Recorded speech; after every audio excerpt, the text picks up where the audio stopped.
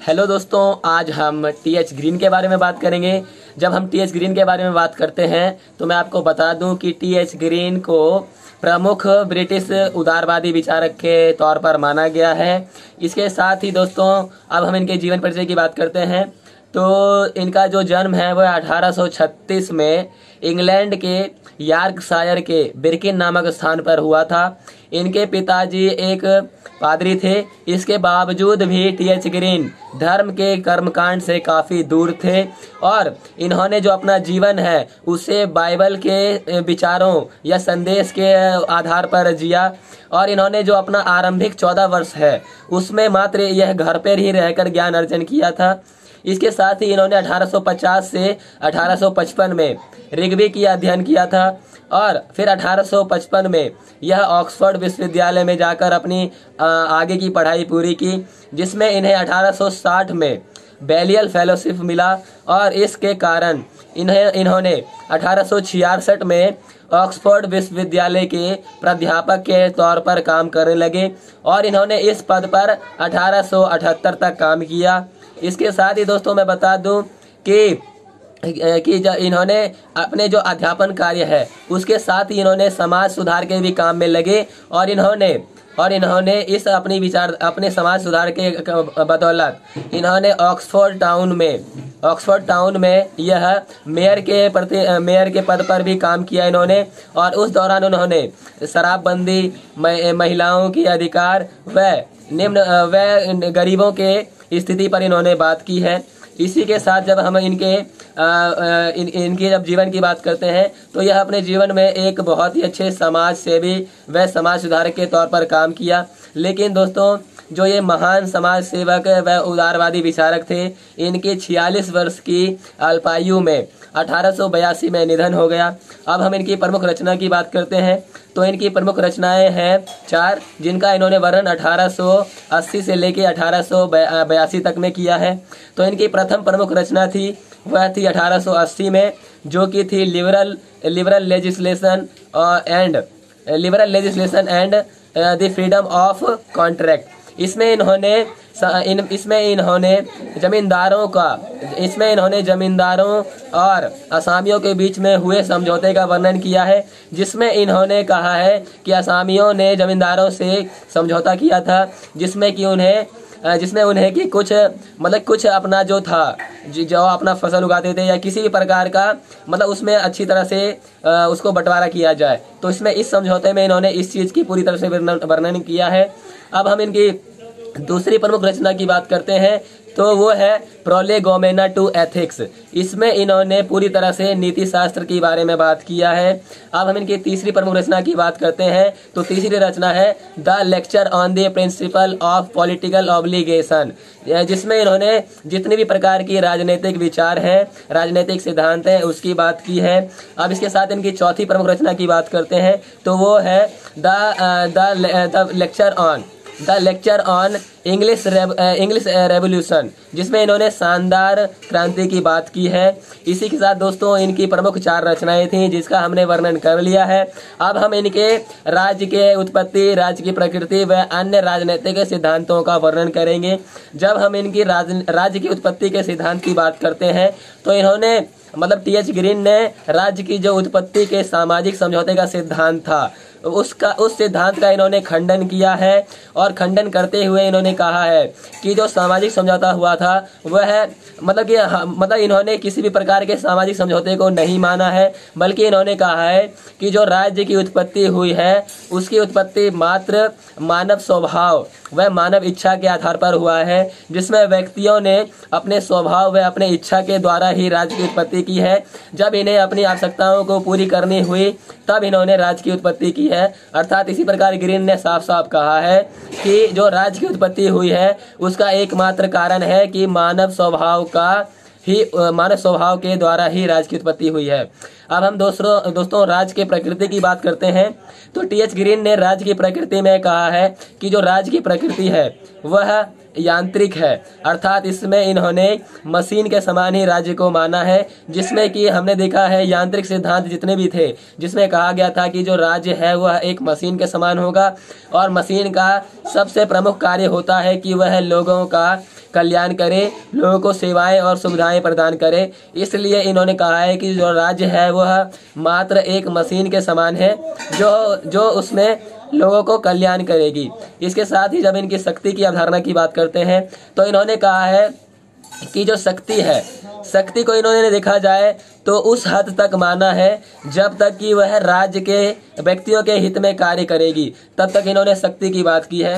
तथा इन्होंने कहा है कि जो राज्य की जो शक्ति है, उसका एकमात्र प्रमुख कार्य है कि वह राज्य के व्यक्तियों का कल्याण करे और उनके हित में कार्य करे, शासन व्यवस्था को अच्छी तरह से सुचारू रूप से चलाए। इसके साथ ही जब हम इनकी संप्रभुता की बात करते हैं तो इन्होंने कहा है कि जो राज्य है, वह भी संप्रभु होगा। और व्यक्ति के पास भी संप्रभुता होगी, वह भी स्वयं प्रभु होगा। लेकिन यहाँ पर यह देखा गया है कि इन्होंने कहा है कि जो राज्य है, वह सबसे ज़्यादा संप्रभु होगा और राज्य ही सब पर, यानी कि व्यक्तियों पर अंकुश लगा के रखेगा, व्यक्तियों के स्वभाव पर नियंत्रित करके रखेगा कि वह किस प्रकार अच्छा काम कर रहा है या बुरा काम कर रहा है। तो यहाँ पर इन्होंने राज्य को सबसे ज़्यादा शक्तिशाली माना है। फिर इन्होंने व्यक्ति की बात की है।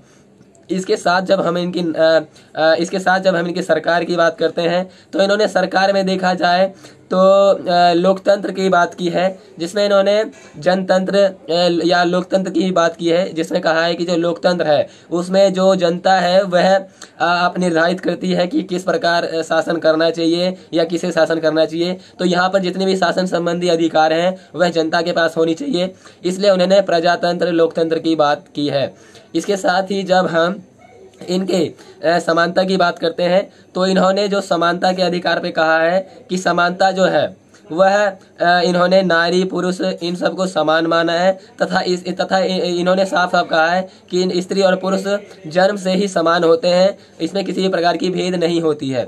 इसके साथ ही जब हम इनकी स्वतंत्रता की बात करते हैं तो इन्होंने दो प्रकार के स्वतंत्रता की बात की है, जिसमें इन्होंने कहा है आंतरिक स्वतंत्रता और बाह्य स्वतंत्रता। जब हम इनके आंतरिक स्वतंत्रता की बात करते हैं तो आंतरिक स्वतंत्रता में इन्होंने दोस्तों साफ़ साफ़ कहा है कि हमारे जो मन है या जो मनोप्रवृत्ति है। इसको किस प्रकार नियंत्रित रखा जाए कि हम किसी भी कार्य को सही तरह से करें या किसी भी कार्य को किस तरह से कर सकते हैं।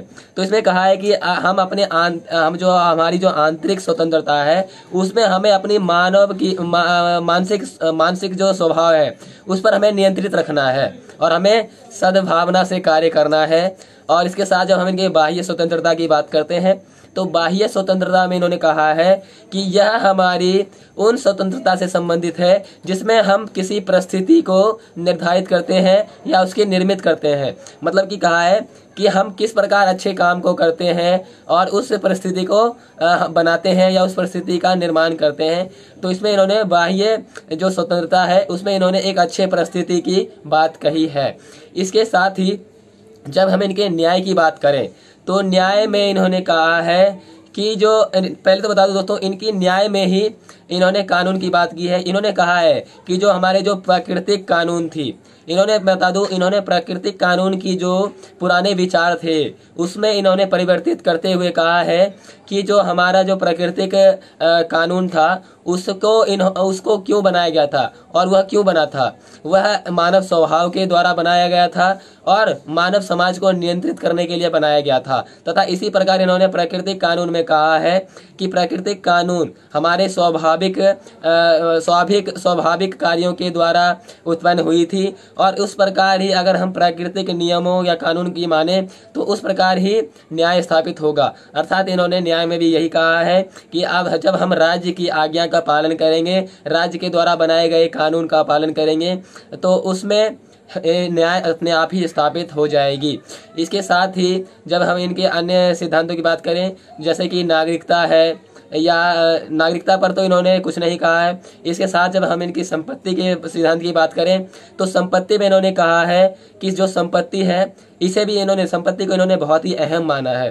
क्योंकि जो संपत्ति है, वह एक ऐसी मतलब कि संपत्ति ही एक ऐसी मात्र तत्व है, राज्य के अंतर्गत, जो व्यक्ति के आंतरिक व बाह्य जैसे कि उनकी जो आर्थिक है मतलब कि राजनीतिक, सामाजिक, इनका विकास करती है और संपत्ति के वजह से ही व्यक्ति अपने मानसिक और अपने सामाजिक विकास कर सकता है, क्योंकि संपत्ति के बदौलत ही वह चाहे तो अच्छी ज्ञान प्राप्त कर सकता है और अपने आप को अच्छा अच्छा मतलब अच्छे काम के द्वारा मतलब बना सकता है। तो इन्होंने संपत्ति को मानव के चरमुखा विकास या सर्वपक्षीय कल्याण में अहम माना है। इसी के साथ हमने देखा कि इन्होंने इन्हें अब दोस्तों, इनकी जो हमने सिद्धांत थी राज्य से संबंधित विचार थे, उसको हमने कर लिया है। अब मैं इनकी बताता हूँ, जो दर्शन थी या जो प्रमुख सिद्धांत थी, वह है इनकी उदारवादिता वाला सिद्धांत या उदारवादी का सिद्धांत। अब मैं बता दूँ, ऐसा क्यों हुआ? क्योंकि जो अठारहवीं, जो शताब्दी थी, वह औद्योगिक क्रांति का काल माना गया था, और उस समय की जब हम बात करें तो उस समय क्या था कि मजदूरों का हद से ज़्यादा शोषण हो रहा था। और और मैं बता दूँ, वहाँ उस समय के समाज में जो गरीब थे उनके जो अधिकार थे, वह छीन उसका मतलब कि उल्लंघन हो रहा था, उनके अधिकारों को छीन लिया जाता था, उन पे मान माने ढंग से उनका शोषण किया जाता था।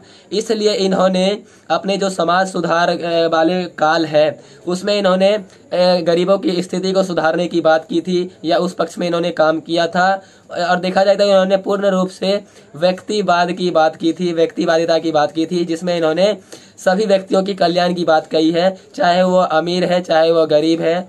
इस प्रकार ही इन्हें प्रमुख व प्रमुख व सर्वश्रेष्ठ ब्रिटिश उदारवादी विचार के रूप में माना जाता है। तो दोस्तों, यही थी टी एच ग्रीन की जीवन परिचय प्रमुख रचनाएँ व इनके राज्य के ऊपर सिद्धांत।